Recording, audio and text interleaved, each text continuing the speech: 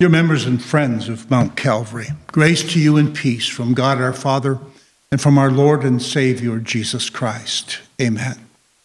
Today is the fifth Sunday of Easter. It had also been designated in our country to be Mother's Day. It's a day when we celebrate the, the blessings of family and, and the gift of motherhood. It's a day to say thank you to God for our mothers and for all that they've done for us. May I encourage you, especially in this time of social isolation and distancing, to take the time to make contact with your loved ones. And maybe let's not forget also those other seniors out there who may be alone at this time. They could take your call as well. I'm sure that they would love it. After all, you have been blessed to be a blessing. And may God continue to bless you and, and to keep you strong during this difficult time. We begin again our worship this morning, this virtual worship, in the name of the Father and of the Son and of the Holy Spirit. Amen. Please join me in heart and mind in our prayer of confession and then rejoice in the Savior's announcement of absolution. Let us confess our sins to God our Father. Most merciful God, we confess that we are by nature sinful and unclean. We have sinned against you in thought, word, and deed, by what we have done and by what we have left undone. We have not loved you with our whole heart. We have not loved our neighbors as ourselves. We justly deserve your present and eternal punishment. For the sake of your Son, Jesus Christ, have mercy on us. Forgive us, renew us, and lead us, so that we may delight in your will and walk in your ways to the glory of your holy name. Amen. Almighty God, in his mercy, has given his Son to die for you, and for his sake forgives you all your sins. As a called and ordained servant of Christ and by his authority, I therefore forgive you all your sins in the name of the Father and of the Son and of the Holy Spirit. Amen. The text for our meditation this morning is a continuation of our study of 1 Peter from the second chapter, verses 2 through 10. Like newborn infants long for the pure spiritual milk, that by it you may grow up into salvation, if indeed you have tasted that the Lord is good. For you come to him, a living stone rejected by men, but in the sight of God chosen and precious. You yourselves, like living stones, are being built up as a spiritual house to be a holy priesthood, to offer spiritual sacrifices acceptable to God through Jesus Christ. For it stands in Scripture Behold, I am laying in Zion a stone, a cornerstone chosen and precious, and, and whoever believes in him will not be put to shame. So the honor is for you who believe. But for those who do not believe, the stone that the builders rejected has become the cornerstone and a stone of stumbling and a, and a rock of offense. They stumble because they disobey the word as, as they were destined to do. But you are a chosen race, a royal priesthood, a holy nation, a people for his own possession, that you might proclaim the excellencies of him who called you out of darkness into his marvelous light. Once you were not a people but now you are God's people. Once you had not received mercy, but now you have received mercy. This is the word of our Lord. Christ is risen. He is risen indeed. And how blessed we really are. On this national celebration of Mother's Day, we think of the blessings of family and we think of the, the gift of motherhood. Absent from one another because of the pandemic, perhaps we're even more aware of this blessing than at any other time. And we look forward to that time when we're going to be able to greet and even hug our loved ones again. So happy Mother's Day to all the mothers hearing. May God hasten the coming of that day. Christ is risen.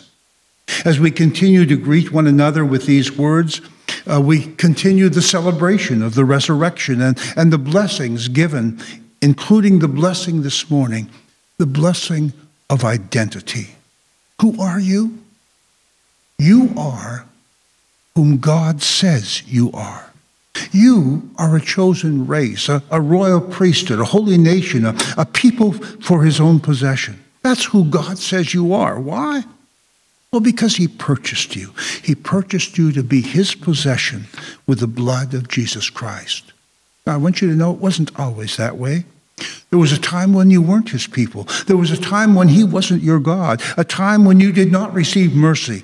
But now, because of the death and resurrection of Jesus Christ, you are his people. You are a chosen race. You are a royal priesthood. You are a people belonging to God. And mercy? You now have mercy upon mercy upon mercy in Jesus Christ. Today, Peter in our reading calls Jesus a living stone, rejected by people and, and even rejected by the Father in heaven too, as he, as he took upon himself our sin and died in our place. The very wrath of God was on him as he suffered and he died upon that cross. But he did not remain a dead stone. He's a living one. God the Father raised him from death on the first day of the week, and, and the stone that the builders had rejected now becomes the first laid stone. It becomes the cornerstone upon which God is going to build his Zion, his spiritual house, his holy church. And you are one of the living stones being built in, a stone being built up to be a spiritual house, to be a holy priesthood, to offer spiritual sacrifices acceptable to God through Jesus Christ. A house that is not built with brick or stone or wood and concrete and stucco like this building is, but of living stone people. A church community made up of holy priests, loving and caring for each other, all the time offering sacrifices acceptable to God. It's a beautiful picture that St. Peter paints for us. And how sad it is that life doesn't always fit the picture. You know how it is. In this world, it's not all beauty. Here we suffer suffering and experience suffering and pain and loss and hurt. And, and what about the other stones that are being be, that are beside us that are also being built up into the spiritual house? Where are they? Well, sometimes they're just no help at all. In fact, sometimes it seems as though they're working harder in tearing us down than in building us up, hurting us rather than supporting us. And if we're really honest, we have to realize that sometimes we hit back too. They hurt us, we hurt them. They hit us with little stones, we threw bigger ones. Let's give the devil his due. He knows how to get our goat and other people's too as he seeks to tear down what Christ is building. It's important for us to acknowledge that, and it's important for us to confess it too. Amidst our being built up into the spiritual house, bad things happen. Bad and unfair things, and, and it will continue to happen as, as long as we live in this world. The Christian church in this world is not perfect, it's forgiven. The devil is very much alive, seeking those that he might devour. But even that reality doesn't change God's word. His word is not a matter of what we see or what we feel or what we experience. It's not made true by things working out for us and not made true when things don't work out for us. We're not kingly priests because we look like kingly priests. We're not a chosen people because we always act like chosen people or when events turn out our way and we feel as if God is somehow loving us. You are who the Father says you are. You are worth what he paid for. It cost him his son. It's not a matter of whether you measure up or not. This whole business really belongs to God. He says you're of value. He says you were worth tearing out a piece of his heart and giving you his son. Your identity, who you are, is found in him. Apart from him, you're just another dead rock. Tied to him, you're a living stone. You're a royal priesthood. His holiness has become your holiness. His kingliness, your kingliness. His mercy, a gift showered upon you together with every other spiritual blessing. Why? all so that you might proclaim the excellencies of him who called you out of darkness into his marvelous light. That's the reason we were created in the first place to give glory to God and who we are and all that we say and what we do. It's the reason why God continues to give us life in this world so that we can tell his story. Yes, I love to tell the story. The story of God's grace and mercy and love for you and for the world in Jesus Christ. So this morning, let me encourage you. Don't trust your feelings. Don't believe what others say about you. Don't draw conclusions on who you are by what's happening around you.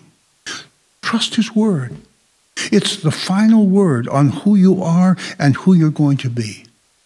And like newborn infants, long for the pure spiritual milk, that by it you may grow up into salvation, if indeed you have tasted that the Lord is good.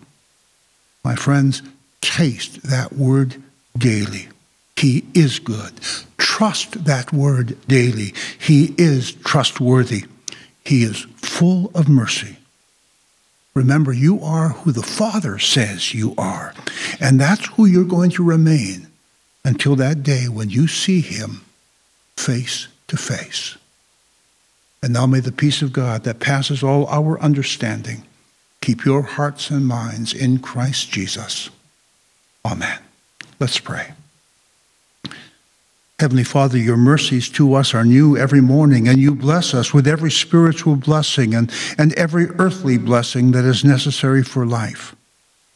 Trusting in your mercy, we come to you with our thoughts and petitions for our world, for our church, for our families, and for ourselves.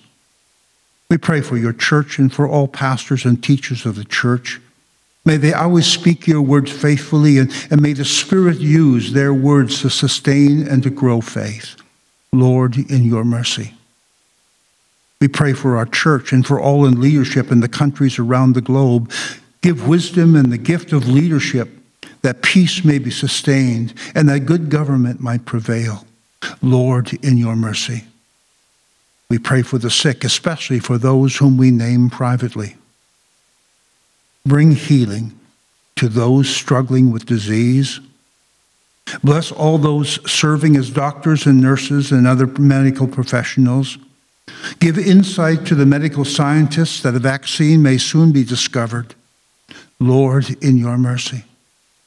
We pray today for the blessings of family and on this Mother's Day, the gift of motherhood. Bless each mother in our listening audience and give us a heart that responds in love and care. Lord, in your mercy. Grant, O oh Lord, during this time of pandemic, that we might grow and remain strong in faith, mindful that God even uses suffering for our good. For though it is, for, for that is for he promises us that it produces perseverance and perseverance character and, and character hope. And that living hope has been given to us in the death and resurrection of Jesus Christ. Thank you for every blessing given. In the name of your Son, Jesus Christ our Lord, who taught us to pray. Our Father, who art in heaven, hallowed be thy name. Thy kingdom come. Thy will be done on earth as it is in heaven. Give us this day our daily bread and forgive us our trespasses as we forgive those who trespass against us. And lead us not into temptation, but deliver us from evil. For thine is the kingdom and the power and the glory forever and ever. Amen. The Lord bless you and keep you. The Lord make his face to shine upon you and be gracious unto you. The Lord look upon you with favor and give you his peace. Amen.